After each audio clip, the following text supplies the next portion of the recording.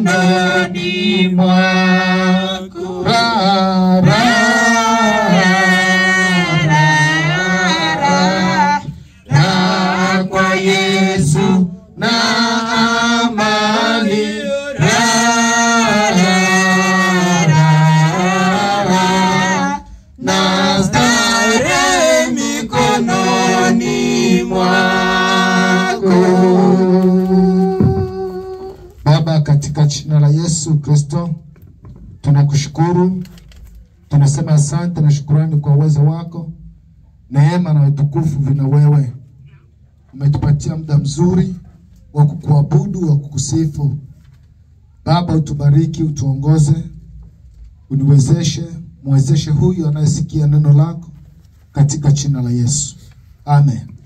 Amen. Bwana Yesu asifiwe. Na nashukuru Mungu kwa sababu siku ya leo tena tumepata nafasi ya kuweza kusoma neno la Mungu na kufundishana neno la Mungu.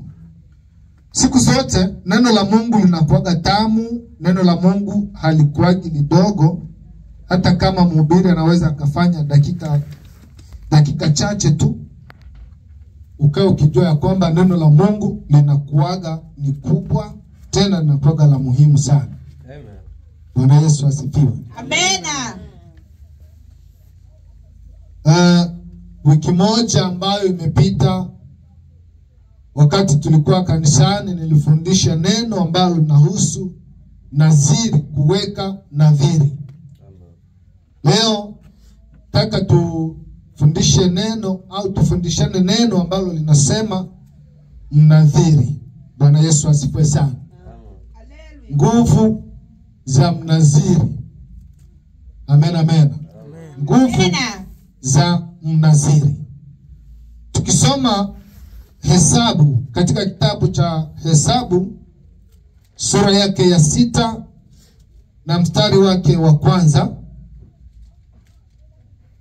Hesabu sura ya sita na mstari wake wa kwanza, Biblia inasema kisha Bwana akanena na Musa na kumwambia, nena na watu wa Israeli waambie, mwanamume au mwanamke atakapoweka nadhiri maalum na mnaziri ya mnaziri, ili ajiweke wakfu, ili ajiweke wakfu kwa Bwana.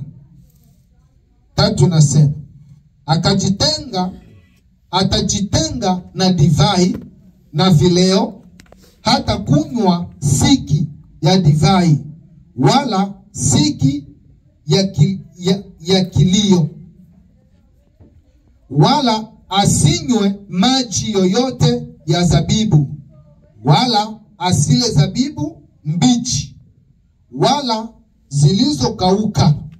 Nne inasema siku zote za kujitenga kwake asile kitu chochote, asile kitu chochote kilichoandaliwa kilichoandaliwa kwa mzabibu, tangu kokwa hata maganda, siku zote za naziri yake ya kujitenga.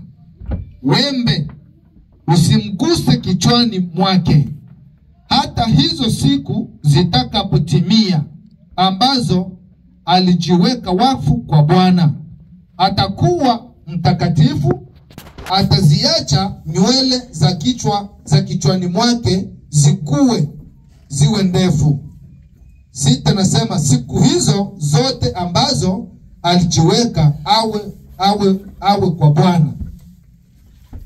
Biblia nasema asikaribie maiti saba inasema ha, hatajitia unajisi kwa ajili ya baba yake wala kwa ajili ya mamaye wala kwa kaka yake wala kwa dada yake wakifa, wakifa wao kwa sababu ya huku kujiweka kwa Mungu ni juu ya kichwa chake siku zote za kujitenga kwake. Yeye ni mtakatifu kwa Bwana. Bwana Yesu asifiwe sana. Amen. Jina la Bwana libarikiwe. Amen. Tuko uh, tunafundisha neno ambalo linahusu mnadhiri. Kuna utofauti wa neno naziri na mnaziri. Amen. Hili ni neno ambalo tunajifunza ambalo linahusu mnaziri. Biblia, Biblia yangu inasema ya kwamba hizi ni sheria ambazo Mungu amempangia nadhiri au mnaziri. Ni sheria ambazo Mungu anampangia mnaziri, anatakiwa azishike. Mnaziri ni mtu wa namna gani? Mnaziri ni mtu ambaye anatakiwa aweje mbele za Mungu katika siku za kujitenga kwake. Bwana Yesu asifiwe. Amina. Habari hizi zilienea katika miji na vijiji ambazo zinalenga neno mnaziri. Bwana Yesu asifiwe. Amen kubwa sana. Biblia nasema ya kwamba mnadhiri hatakiwi hatakiwi kunyoa nywele za kichwa chake mnaziri katika siku za kujitenga kwake, lakini pia mnadhiri hatakiwi kunywa kilevi au divai ya yoyote yote katika siku za kujitenga za kujitenga kwake. Bwana Yesu asifiwe sana. Haleluya. Sasa tunaona kwa nini Mungu akataze mtu asinywe kileo chochote wakati wa naziri yake. Kwa nini Mungu akataze mtu asinywe kileo wakati huo, aidha wakati anapokuwa katika siku za kujitenga kwake? Ah, hapa tunaona ni kwa sababu kilio tunaona kileo ambacho kinamtoa mtu ufahamu. Ina maana kule kulewa, wakati mtu anapokunywa divai au mvinyo au pombe, mtu analewa na inakuja kumsababishia mtu kutolewa ufahamu, na hiyo inakuwa ni sababu kubwa sana ya Mungu kumkataza mtu huyu asinywe divai.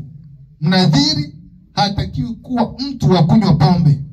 Mnaziri hatakiwi kuwa mtu wa kunywa kileo chochote cha kulewa. Bwana Yesu asifiwe. Wakati tunapozaa manaziri ni, wa, ni lazima na ni wajibu wetu sisi wazazi kuwaambia ya kwamba wewe ni mnadhiri, na kama wewe uko mnaziri hautakiwi kunywa hautakiwi kunywa pombe, hautakiwi kunywa kileo ambacho kinaweza kika, ambacho kinaweza kikakuelewesha ukalewa, maana inakatazwa kabisa. Bwana Yesu asifiwe. Haleluya. Lakini pia wakati anapotumia hicho kileo inamsababishia asijitambue na inamsababishia ajisahau kabisa kama yeye ni mnaziri. Na wakati anapokwenda anapokwenda kunywa hivyo vileo na vidi- vidivai ambavyo Mungu amevikataza, tunaona ya kwamba anakuwa amekwenda kinyume na ile naziri ambayo Mungu ameweka ndani yake ya kuitwa mnadhiri. Tayari anavunja. Bwana Yesu asifiwe sana. Amena. Tayari anavunja ile ahadi ambayo Mungu amemwaidia au amemwambia. Jina la Bwana libarikiwe. Amen. Lakini pia vile vile tunaona ya kwamba mzazi ambaye anaambiwa neno na, neno naziri mzazi aliyoiweka ya kwamba nikizaa huyu mtoto atakuwa naziri wa Mungu.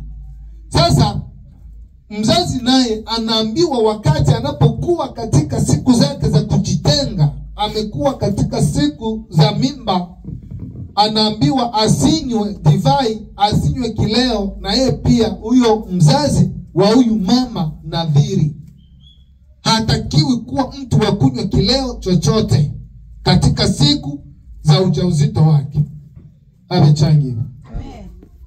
Biblia inasema wakati mnaziri anapokuja kuzaliwa asinyolewe nywele zake, asinyolewe. Sheria ya mnaziri, yaani mtu asiyeweka nadhiri, ilikuwa ni lazima aziache nywele zake ziwe ndefu. Mtu ambaye aliweka nadhiri au mtu ambaye aliyechaguliwa na Mungu kuwa mnaziri ni lazima aziache nywele zake ziwe ndefu. Hapasi kuzikata nywele zake, kwa sababu yeye ni mnaziri wa Mungu. Mnaziri ni nani? Mnaziri ni mtu ambaye amechaguliwa maalumu tangu tumboni mwa mama yake, yeye kuwa mnaziri. Jina la Bwana libarikiwe sana. Amena Kubwa Tunaona mnaziri ni mtu ambaye amechaguliwa tangu tumboni mwa mama yake. Huyu mnaziri ambaye tunaye msema ni mtu ambaye amechaguliwa. Ukiambiwa kwamba au ukiulizwa swali, mnaziri ni nani? Mnaziri ni mtu ambaye amechaguliwa maalumu tangu tumboni mwa mama yake yeye kuwa naziri. Bwana Yesu asifiwe. Amena. Na huyu mnaziri iko na masharti yake au iko na sheria zake ambazo amepatiwa, na ndio hizi ambazo tumezisoma. Jina la Bwana libarikiwe sana. Amen. Ndio hizi ambazo tumezisoma eh, katika kitabu cha Hesabu sura ya sita na mstari wake wa kwanza. Ukisoma hii tatu mstari wake wa tatu unasema atajitenga na divai na vileo, hata kunywa sinki ya divai wala sinki ya ya kileo, wala asinywe maji yoyote ya zabibu, wala asile zabibu mbichi wala zilizokauka siku zote za kujitenga kwake. Asile kitu chochote, asile kitu chochote kilichoandaliwa kwa mzabibu, tangu kokwa hata maganda, siku zote za naziri yake ya kujitenga. Wembe usimguse kichwani mwake. Bwana Yesu asifiwe. Amen. Biblia nasema kwamba asikaribie maiti huyu mnadhiri, asikaribie maiti. Kisoma sita inasema kwamba eh, siku siku hizo zote ambazo alijiweka awe wa Bwana asikaribie maiti hata jitia unajisi kwa ajili ya baba yake wala kwa ajili ya mamaye wala kwa kaka yake wala kwa dada yake wakifa. Bwana Yesu asifiwe. Amen. Amen kubwa sana. Mnaziri. Ndio maana unapotabiriwa ya kwamba huyu mtoto wako ni mnadhiri, kuna kazi na kuna ugumu wake, kuna uzuri wake na kuna ugumu wake. Sio kufurahia tu eti kwa sababu unaitwa mnaziri ndio furahi. Hapana, kuko sheria zake hapa. Yawezekana Mungu iko na sababu ya kukuchagua wewe kuwa mnadhiri, lakini je, utayaweza masharti ya mnaziri? Bwana Yesu asifiwe sana. Amena. Maana shida ya waulimwengu, kesho watakuita huko mchawi, aidha kesho wakuita umekuwa na kiburi au kesho wakuita hawajui ya kama uko unatii sheria iliyomo ndani ya biblia. Bwana yesu asifiwe sana. Amen. lakini pia biblia inatuambia kwamba unaweza ukakaribia baadhi ya, ya maiti baadhi ya watu waliokufa ikiwa wako wa damu yako bwana yesu asifiwe. Amena. lakini kama haiko wa karibu ya nyumba yako au wa damu yako hawezi ukakaribia, uka- hawezi ukamwona msibani unaweza ukaenda. Unaweza ukaenda. Lakini usione maiti. Huyo ni nani? Ni mnadhiri wa bwana ambaye amepewa hiyo sharti. Wakati wa kunyolewa kwako nywele biblia inasema wembe usipite kichwani mwako kwa sababu wewe ni mnadhiri. Leo manaziri wako ananyolewa ovyo. Amen amen. Amen. leo walio manaziri ndo wanasukwa ovyo. Leo wanaojiita mimi ni mnaziri wa bwana ndo wanagusa kichwani leo kila leo. Lakini kichwa cha mnaziri hakiko kichwa cha kugusagusa. Kichwa cha mnaziri ni sawasawa na kichwa cha kuhani au ni sawasawa na kichwa cha nabii ni sawasawa na kichwa cha kiongozi sio kugusagusa lakini leo nakutana kama ni rafiki yako kama ni ndugu yako anakugusa mkichwa sijui anakutafuta chawa sijui nini unakuwa umeanza kuvunja zile sheria bwana yesu asifiwe Haleluya. Uh, siku zote nywele ni ishara ya uwepo wa Mungu juu yetu. Nywele ni ishara ya uwepo wa Mungu juu yetu, nywele za kichwa cha mnaziri. Ndio maana Mungu anakataza wembe usipite kichwani mwake. Nywele za mnaziri haziko za kuchezea chezea. Mnaziri ananyolewa na makuhani. Mnaziri ananyolewa na viongozi, yule ambaye Mungu atakayemchagua kwamba huyu anatakiwa akunyoe nywele zako, ndo huyu ambaye anatakiwa akunyoe. Bwana Yesu asifiwe. Sio kila mtu ndo anatakiwa akunyoe nywele zako. Ukiambiwa tu uko na mtoto mnadhiri, basi uanze kusoma mambo ambayo yanastahili mnadhiri kuwa, yanayotusababishia sisi kutokutimiza ile hadi ya unaziri. Ni malezi ya sisi wazazi kuwalea hawa watoto ambao wanachaguliwa na Mungu kuwa manaziri. Tunashindwa kuwalea ipasavyo. Moja, tunawaharibishia sheria za Mungu sisi wazazi. Pili, sisi wazazi tunajisahau wakati tunapokuwa mimba, tunajisahau na wakati mtoto anapokuwa ameshafikisha sijui miaka kumi na tano miaka ishirini miaka thelathini tunajisahau kama yule mtoto alikuwa akiwa amechaguliwa na Mungu kuwa mnaziri, na hapo inamtia kuwa na ugumu na shida sana yeye kujitambua kama yeye ni nani. Jina la Bwana libarikiwe sana. Lakini pia na nywele na nywele huwa ni nyingi kichwani, nywele zinakuwa nyingi kichwani. Na zina tabia ya kukua kila siku, zinaonekana kimo, zinaongezeka kimo, na maana kila siku nywele za mtu au nywele za mnadhiri huwaga zina, zina tabia ya kukua kila siku na kuongezeka kimo. Ndivyo rehema na neema za Mungu zilivyo nyingi juu yetu, zinaongezeka kila kila kukicha. Neema ya Mungu uwagi inaongezeka kila kukicha. Bwana Yesu asifiwe sana. Amen. Amen.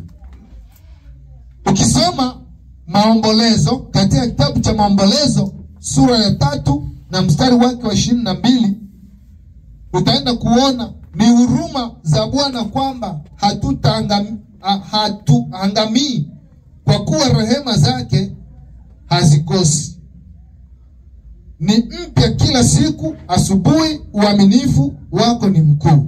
Tunaona rehema za Mungu eh, rehema za Mungu kila ukicha, rehema zake ziko pale, hazikosi, zinakuwa juu yetu. Jina la Bwana libarikiwe sana. Na ndivyo inavyolinganishwa nywele za mtu zinakuwa kila kukicha nywele za mtu. Kwa hiyo ni kama rehema za mungu kila leo. Sasa kwa hiyo mnaziri yeyote ambaye alikuwa ame- amemwekea mungu nadhiri hakukata nywele zake mpaka siku ambayo atatimiza nadhiri hiyo ndipo ataruhusiwa kuzikata ukisoma matendo ya mitume sura ya kumi na nane na mstari wa kumi na nane. Bwana yesu asifiwe sana. Kwamba wakati anapo anapoweka nadhiri haikukuwa rahisi yeye kukatwa nywele zake mpaka mungu mwenyewe atakaporuhusu. Hapo sasa mnaweza mkakata hizo nywele zake bwana yesu asifiwe sana. Amena. uh, tunaona waamuzi. Waamuzi sura ya kumi na tatu na mstari wake wa tatu. Biblia inasema ya kwamba malaika wa bwana akamtokea yule mwanamke akamwambia tazama wewe sasa utasa huzai lakini utachukua mimba nawe utamzaa mtoto mwanamume. Nne inasema basi sasa jihadhari na kuomba. Usinywe divai wala kileo wala usile kitu kilicho najis tano kwani tazama utachukua mimba nawe utamzaa mtoto mwanamume na wembe usipite juu ya kichwa chake. Maana mtoto huyo atakuwa mnaziri wa mungu. Tangu tumboni naye ataanza kuwaokoa israel na mikono ya wafilisti. Bwana yesu asifiwe sana. Amena. tunaona mungu anampatia huyu mwanamke masharti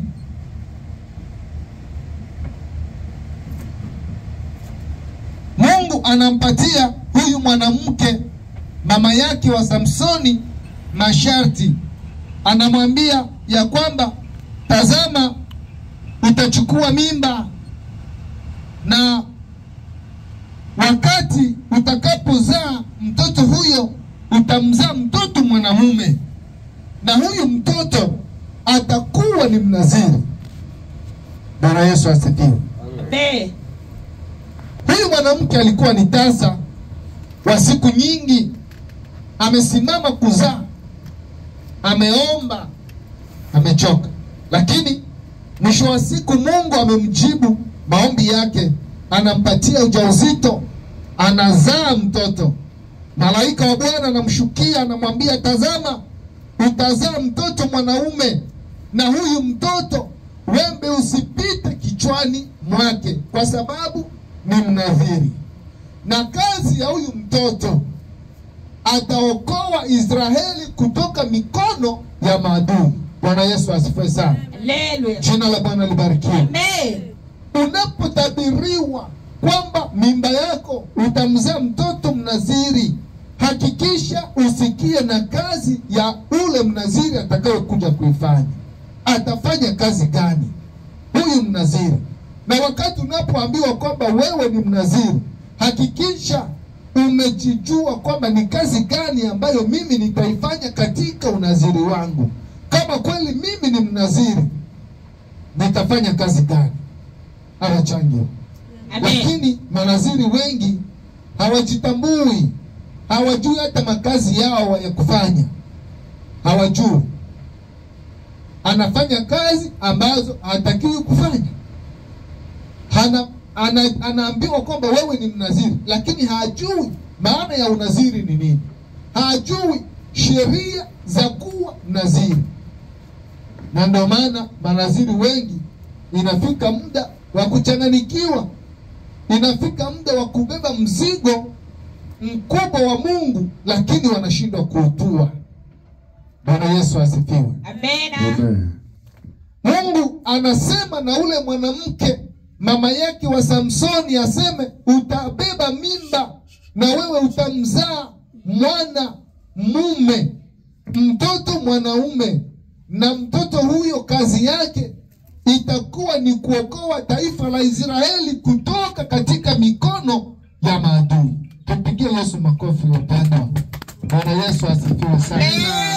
Amen. Jina la Bwana libarikiwe sana. Kazi ya mnaziri, lazima uelewe mnaziri ana kazi gani. Sio tu kwa sababu umetabiriwa huyu ni mtoto mnaziri, na ndo uchukue kabisa eh, ushindo kuelewa na kazi yake ni nini ambayo atakuja kuifanya. Amen, amen. Amen. Tunaona tunaona kwa nini Samsoni nywele zake hazikupaswa kukatwa. Ni kwa sababu alikuwa ni mtu maalum sana, bali ni kwa sababu tayari alikuwa ni mnadhiri, na sheria ya mnadhiri tangu wakati wa Musa ni kutokukata nywele wala wala kunywa divai. Hivyo Samsoni hakupaswa kukata nywele zake wala kunywa kileo chochote maisha yake yote, ili nadhiri yake iwe na maana, ili nadhiri ya Samsoni iwe na maana, ili nadhiri ya Samsoni iwe na nguvu. Alikuwa anaambiwa asikatwe nywele. Bwana Yesu asifiwe. Amen. Tunaona shida ambayo ilikuja kuingia wakati Samsoni anakatwa nywele. Tunaona sasa imezoeleka kufahamu kwamba Samsoni nguvu zake zilikuwa katika nywele tu, lakini lakini kiwasia ni kwamba hazikuwa katika nywele zake tu, bali hata katika kitu alichokuwa anakunywa. Ndiyo maana alio, alionywa asinywe kileo chochote tangu akiwa tumboni. Maana yake ni kwamba hata kama Delila asingejua siri ya nywele zake, lakini akajua siri ya kutokunywa kwake kileo, na hivyo akaenda kumtengene, akaenda kumtengenezea kileo na kumpa. Bado nguvu za Samsoni zingeisha mpaka atakapo atakapolivuka na kurudia akili yake. Jina la Bwana libarikiwe sana. Amen. Tunaona ya kwamba ina maana kwamba hata katika unywaji wa kileo, laiti kama Samsoni angelizoea kunywa kileo, hata nguvu zake zingeliisha, zingelipunguka. Wakati amenyolewa nywele, tunaona nguvu zimemwishia kabisa, na ndipo pale Delila alipata nguvu ya kumkamata Samsoni mpaka akafungwa. Amen, amen. Amen. Amen. Nguvu za mnaziri, nguvu zilizomo katika mnaziri ni kushika sheria za unaziri. Bwana Yesu asifiwe. Haleluya. Dajoari ngungwa. Nguvu za mnaziri ni kushika amri, ni kushika sheria za mnadhiri ambazo Mungu ame, amezipanga ndani yake. Wakati anaposhindwa kushika zile amri au sheria, ndo pale anaenda kuzivunja. Tunaona Samsoni anavunja sheria ya Mungu. Mungu anasema kwamba nywele isipite katika kichwa chako. Sasa yeye anaenda kutoa siri, anaambia mwanamke ya kwamba mimi nguvu zangu, ukinikata nywele tu, nguvu zangu zitapita. Zinafanya nini? Zinaishia. Ametoa nini? Siri. Kwa sababu ya mwanamke Samsoni yo katoboa siri Kwa sababu ya wanawake. Samsoni katoboa siri kwa sababu ya wanawake. Samsoni katoboa siri Kwa sababu ya wanawake.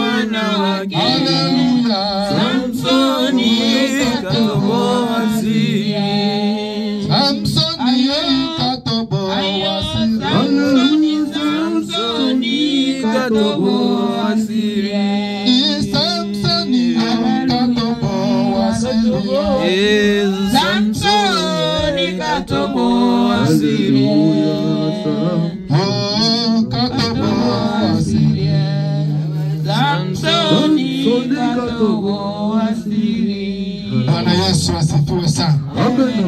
Amen. Haleluya. Biblia inasema Samsoni alitoboa siri za nguvu zake, siri za nguvu zake. Yeye kama mnaziri wa Mungu, mteule, mchaguliwa. Mnadhiri ni mchunga siri za kazi ya Mungu. Mnadhiri ni mchunga siri za nguvu ya Mungu. Bwana Yesu asifiwe sana. Amena.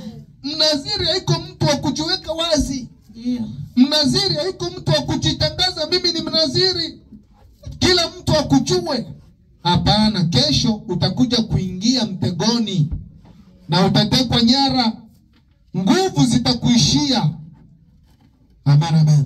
Amen. Uzizi na uasharati. Mnaziri hatakiwi kuwa mzizi, hatakiwi kuwa mwasherati. Haya mambo ni mambo ambayo yanapunguza nguvu ya mnaziri ndani yake. Bwana Yesu asifiwe. Amen. Tunaona Samsoni ni kipi ambacho kilimsababishia apunguzwe nguvu au nguvu zimwondoke? Ni kwa sababu ya tamaa ya nini? Ya washarati.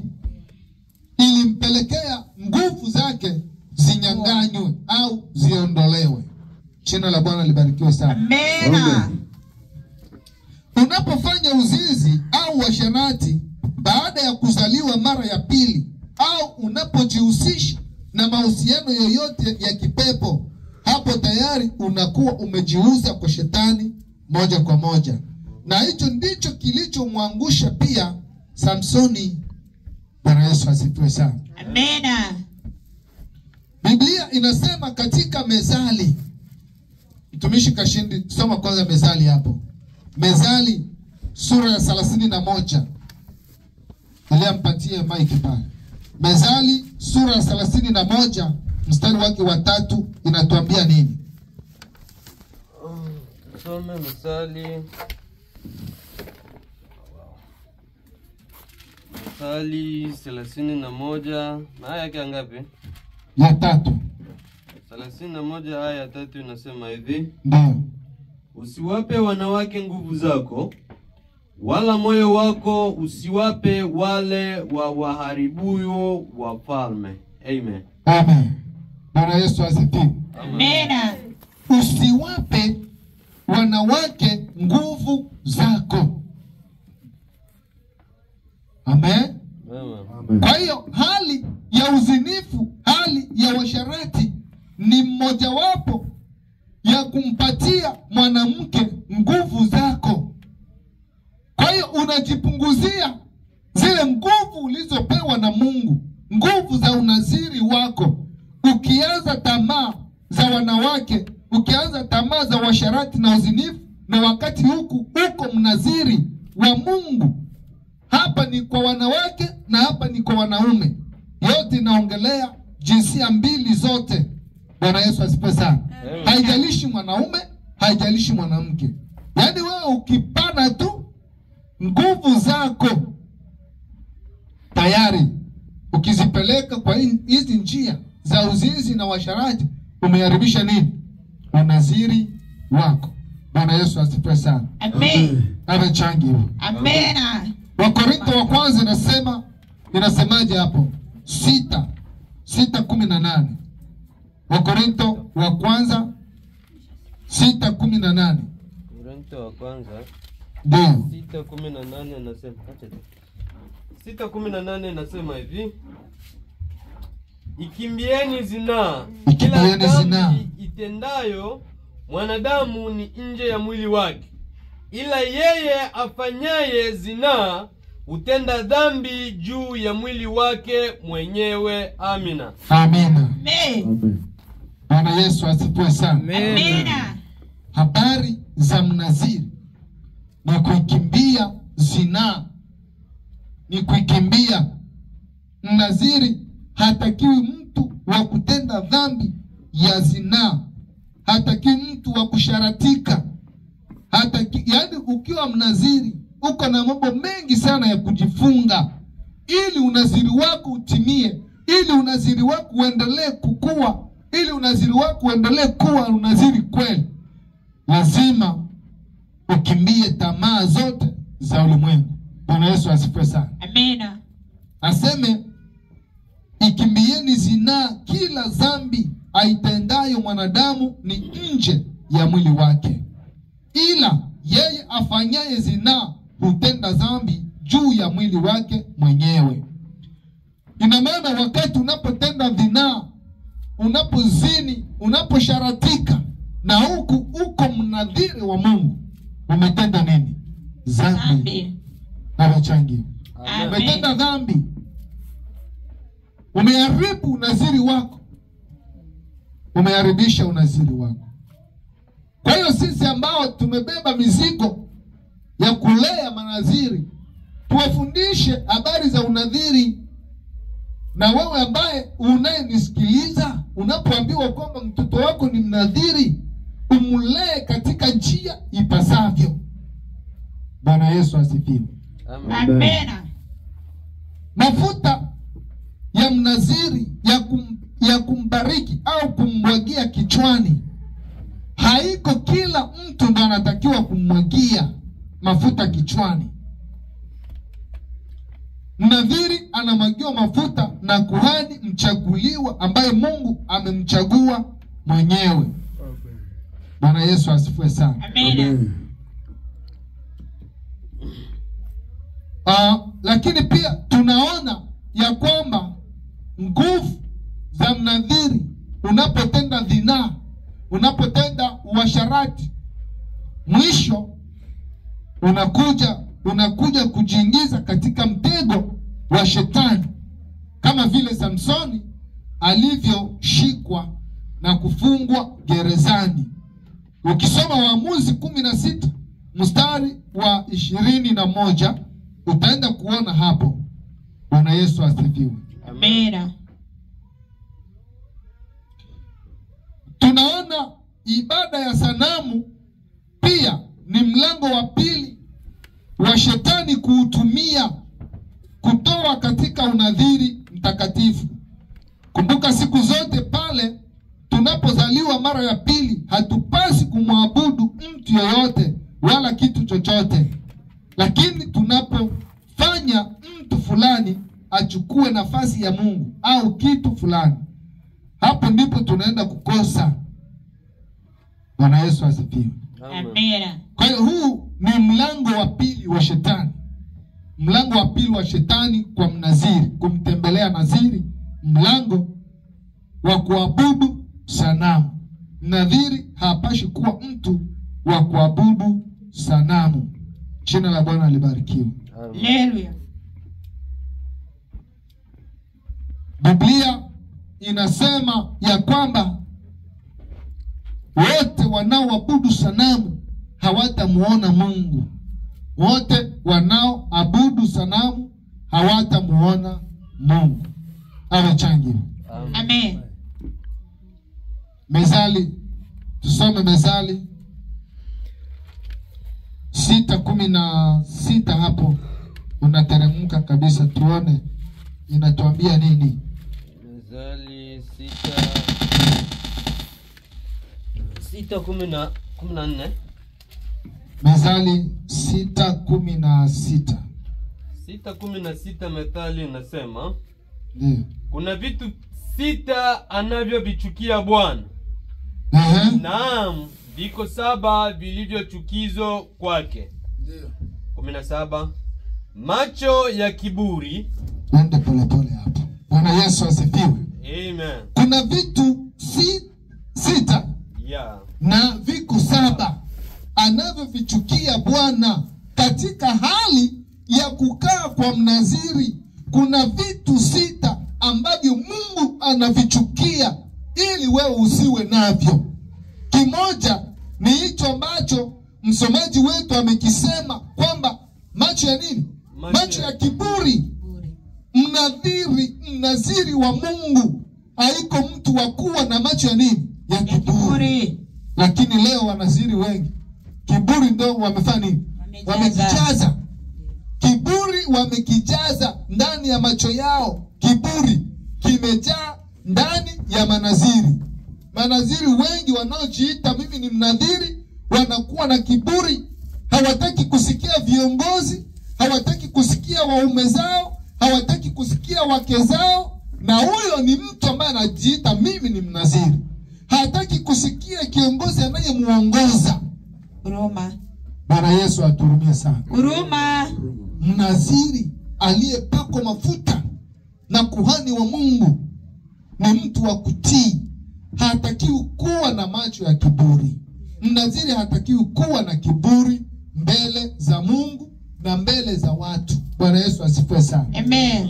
tena nasemaje hapa ulimi wa uongo. Hatakiwi kuwa na ulimi wa uongo mnaziri lakini wanaziri wengi. Ndo nini? Ndo waongo. Ongo. waongo wa kupindukia manaziri wengi. Wanaojiita mimi ni mnadhiri. Lakini kudanganya ni hapa na pale. Bwana yesu aturumie sana. Huruma. na hii ni shida. Inatupunguzia nguvu za mungu ndani yetu. Sisi tunaojiita manaziri wa mungu. Tunapokuwa waongo tunapokuwa na macho ya kiburi tunapunguza nguvu ya mungu ndani yetu. Aha. na mikono imwagayo damu isiyo na hatia. Mikono imwagayo damu isiyo na hatia.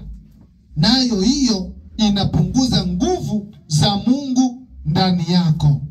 Wakati unapokuwa na mikono mirefu mikono mirefu haiko tu ndo kuua eti ndo kumwaga damu hapana hata mkono wako kupiga mtu kupiga mtu mnadhiri hautakiwi kuwa na mikono mirefu ya kupiga watu bwana yesu asifiwe sana. Amen. mnaziri hautakiwi kuwa na mikono mirefu ya kuiba. Hapana.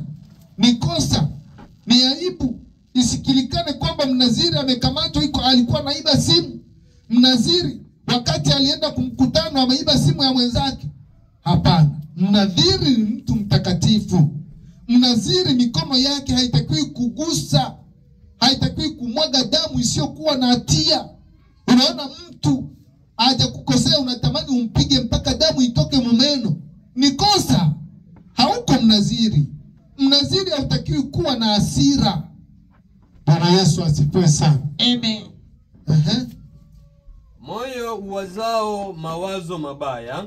Mnaziri hatakiwi kuwa na moyo wa kuwaza mawazo mabaya kila leo. Arachangiwemanga Amen. jina la bwana libarikiwe. Mnaziri hautakiwi kuwa na moyo uwazao mawazo mabaya kila leo. Wewe ndo wakuwazia mwenzako mabaya. Kila leo wewe ndo wakuwazia bwana yako mabaya. Kila leo ndo wakuwazia mme wako mabaya. Hapana.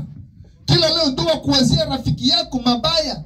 Huenda iko na ku, iko na kunenea mabaya. Huenda iko naenda na kuteta. Huenda iko na kusema sema na kesho unasambaratisha kanisa kesho unasambaratisha chumba cha maombi. Ni mawazo mabaya. Bwana yesu asifiwe sana. Amen. na huku najiita ni, mza- ni mnaziri wa mungu. Kweli mnaziri anaweza kuwa hivyo. Mnaziri hawezi kuwa na hizo tabia za kuwa na mawazo mabaya. Yaani ukikutana eh, ukikutana mimi na mtumishi kashinde hapa tumekaa tuko tunajisemea vyetu jinsi huduma itaendelea wewe unaanza kutuwazia wenda tuko tunakuteta kuna watu wa namna hiyo Bwana Yesu asifiwe. Amen. Amen. Kuna watu wa namna hiyo, yaani ukikutana wawili watatu wanakaa sehemu, unafikiria labda wako wanakuteta. Kesho chumba kinasambaratika, kesho kanisa inasambaratika. Kwa hiyo mnadhiri hautakiwi kuwa mtu wa kuwaza mawazo mabaya. Kesho hautakaa na mtu yoyote. Bwana asifiwe. Amen. Kesho utaribu hata nyumba yako, kwa sababu uko na wazia mume wako vibaya, uko na wazia mke wako vibaya, nyumba itaharibika na itakufa. Bwana Yesu asifiwe sana. Mnaziri wa Mungu hautakiwi kuwa na mawazo mabaya. Ehe.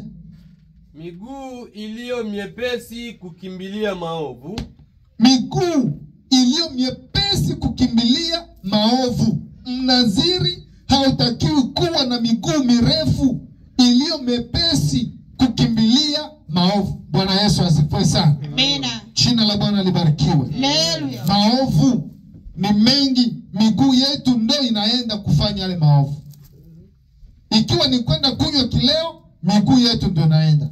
Ikiwa ni kwenda kuiba, miguu yetu inaenda. Ikiwa ni kwenda kupigana, miguu yetu inaenda. Ikiwa ni kwenda sijui kufanya mambo isiyoeleweka, kwenda kumwaga damu, miguu yetu ndo inaenda. Bwana Yesu asifiwe sana. Amen. Amen. Amen, amen. Amen. Amen. Miguu yetu isiyo mwepesi, isiyo mwepesi Kutembelea dhambi. kwa kutendea dhambi au kwenda kutenda dhambi. Miguu metoma kulubecho mafili hapana muwa maleya. Miguu yetu, miguu yetu, miguu ya mnadhiri. Bwana Yesu asifiwe. Amen. Haiko ya kutembelea usharati. Miguu ya mnaziri haiko ya kwenda kunywa pombe. Miguu ya mnaziri haiko ya kwenda kupigana na jirani yako. Miguu ya mnaziri haiko miguu ya kumwaga damu. Miguu ya mnadhiri haiko miguu ambayo inatakiwa kuwa inajichovya kwenye uchafu kila leo. Bwana Yesu asifiwe sana. Amen. Amen. Inasemaje tena? shahidi wa uongo asemaye uongo shahidi wa uongo asemaye uongo. Mnadhiri eh, mnaziri hatakiwi, hatakiwi kuwa shahidi wa nini? Wa uongo, asemaye nini? Uongo. Lakini leo manadhiri wengi ndio wa nini? Waongo, wanaosema nini? Uongo na kushuhudia nini? Uongo. Bwana Yesu asifiwe sana. Amen. Mungu atusamehe sana. Huruma. Ma. manaziri. Mnadhiri hautakiwi kuwa shahidi wa uongo. Mnaziri, ndio maana Biblia inasema kwamba hautakiwi kumpeleka mwenzako mahakamani kwa sababu wewe uko mnaziri wa Mungu. Mtapelekeraje mahakamani kisha unaenda kusimama? Ndio maana Biblia ilikataza Mkristo hatakiwi kuwa shahidi. Bwana Yesu asifiwe, kwa sababu utaenda kule utashuhudia. Je, uliona? Lakini leo tunakuwa na waongo wanaziri ambao wako wanashuhudia vitu vya uongo. Nimeona, nimeona, na kumbe hajaona. Ukimuuliza uliambiwa na nani? Eh, nalo boronos. Fulani ndo alisema, fulani alisema. Beni washitenda. Eh, eh. Amen. Amen. Beni washitenda hakuna. Ukimuuliza bile eske tono ya tuyo tocha oito oito bwana au bwana bwana bo pe ni so moni ni na chiso na mbola mi eh eh. Bwana Yesu asifiwe sana. Amen. Wa Mungu hautakiwi kuwa mtu wa kunena uongo, hautakiwi kushuhudia mambo ya uongo. Nimeambiwa, nimeambiwa, nimeambiwa. Umeambiwa na nani? Niliambiwa na niliambiwa na Hapana. Bwana Yesu asifiwe. Amen. Vinaharibu huduma, hivyo vinaharibu uhusiano wa urafiki. Urafiki unabomoka tu, nakutana watu wawili walikuwa marafiki, wanafanya nini? Urafiki unaisha, urafiki unaisha kabisa yeah. Unakutana kabisa watu walikuwa marafiki, lakini kwa sababu ya kukushuhudia vitu vya uongo urafiki unaisha. Amen, amen, amen. Kama mlikuwa kundi ya watu watatu wanne, eh, kama vile dada yangu pale Johari eh, iko na kundi ya watu kama vile mtumishi wana hapa iko na kundi ya wana wa manabii kama vile mtumishi mtumishi Kashindi na yeye wendi iko na kundi yake unakutana katikati yenu, mnajitokeza mtu shahidi wa uongo, wakuwa anashuhudia uongo, hiyo kundi itafanya nini? Itaisha. itasambaratika kabisa. Ndio. Kushuhudia mambo ya uongo haiendelezi huduma ya Mungu, Dio, lakini inarudisha huduma ya Mungu nyuma. Bwana Yesu asifiwe sana. Amen. Amechangia. Amen. ya mwisho inasema Inasemaje baba? naye apandaye mbegu za fitina kati ya ndugu amen Naye apandaye mbegu za fitina kati ya ndugu na ndugu. Haleluya. Amen. Vitu sita na viko saba machoni pa Bwana ambavyo Mungu anafanya nini? Hatipendi. Hatipendi havipendi, anavichukia kuvisikia ndani yako wewe mnaziri. Na sio mnaziri tu, ni kila muombaji anayejiita muombaji, ana- anayejiita Mkristo. Hayo ni mambo ambayo Mungu hayapendi kuwa anayasikia ndani yetu. Naye apandaye mbegu ya chuki kati ya ndugu yake, Mungu hapendi. Amen.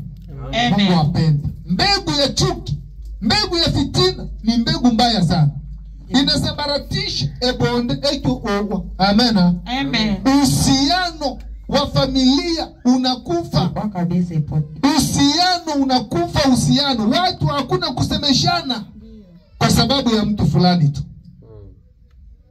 amepanda nini, mbegu ya chuki ya fitina. Amen, amen. Amen. manaziri manaziri wa Mungu, msipande mbegu ya chuki, usipande mbegu ya chuki kati ya ndugu yako, usipande mbegu ya chuki kati ya rafiki yako, usipande mbegu ya chuki kati ya waombaji munaoingia nao mchumba cha maombi. Chumba kitasambaratika.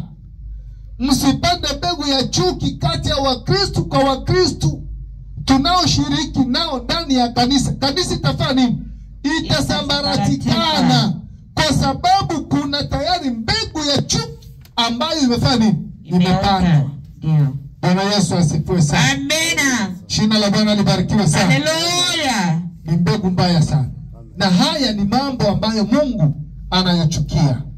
Haya ni mambo ambayo Mungu hayapendi kuyasikia ndani yetu, ndani yetu sisi waombaji, ndani yetu sisi watawa, ndani yetu sisi manaziri, hususan manaziri ndio kwenye tuko kwamba manadhiri hawatakii kuwa watu wa kupata mbegu za chuki na fitina kati ya ndugu zao.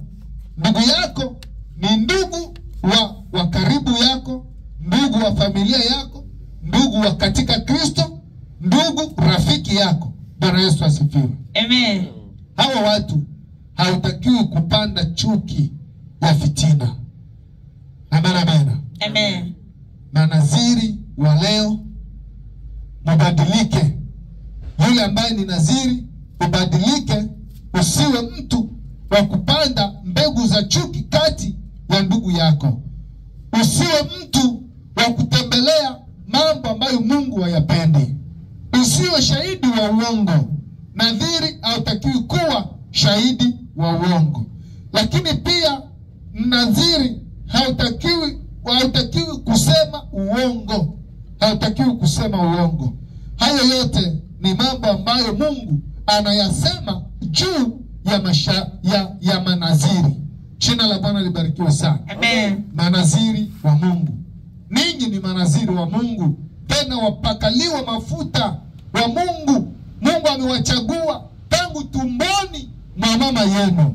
Ni lazima uwe uwe umesimama katika haki na kweli ya Mungu. Bwana Yesu asifiwe sana. Amen. Tuombe Mungu, Asante. tuombe Mungu. Ah.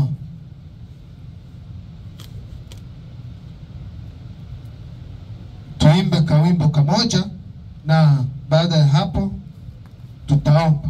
Bwana Yesu asifiwe sana. Amen. Baada ya hapo tutaomba. e, tutaimba wimbo fupi tu, kisha tutamwambia Mungu rehema zake ni za milele tu, asamehe yeyote mnaziri ambaye ameenda kinyume na mapenzi ya Mungu. Bwana Yesu asifiwe sana. Wako wako manaziri ambao wameenda kinyume na mapenzi ya Mungu. Ndio. Bwana Yesu asifiwe sana. Amen. Wengine hawajijui kazi zao, kazi za mnaziri hawazijui kazi za mnaziri, na kazi za mnaziri haziambiliwi na mtu. Mungu mwenyewe ndo anasema kazi utakayokuja kuifanya wewe mnaziri. Yeah. Wakati unapoambiwa na kutabiriwa kwamba wewe ni mnaziri, na pale pale ndipo Mungu anashusha na anasema na kazi ambayo utakuja kuja kuifanya. Bwana Yesu asifiwe sana. Amen. Yoyote uonayo uko katika mwendo wako,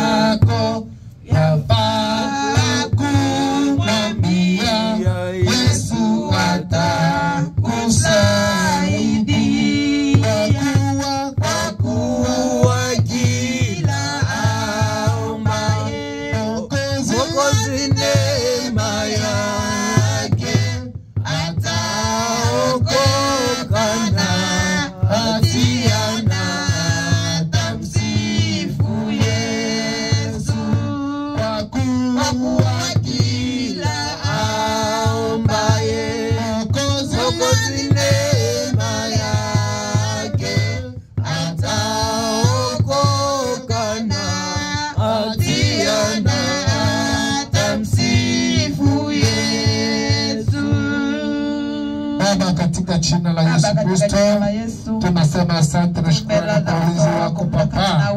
Neema yako yatosha kwetu Bwana. Ni mengi ambayo umeyatenda juu ya kila mmoja wetu, kusikia neno lako hili Bwana.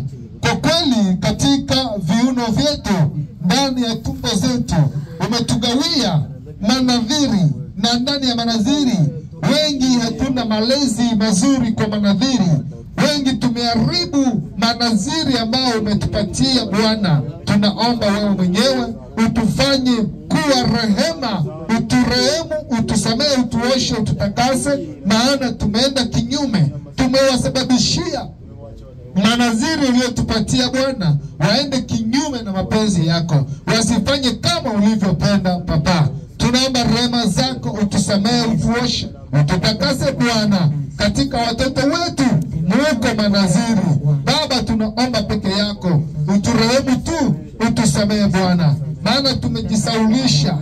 Wakati tulipoambiwa kwamba mtoto wako ni nadhiri, tulipashwa kumleta kwa kuhani, tulipashwa kumleta kwako Bwana, ili umbariki, ili umuonekanie Kristo, lakini tumejisahau Bwana.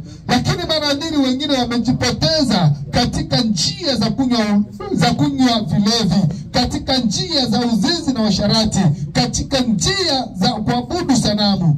Yesu, ingelikuwa heri usamehe kila mmoja, rudisha watu wako katika njia zako zipendazo. Asante Mungu kwa sababu peke yako utawezesha kila mmoja.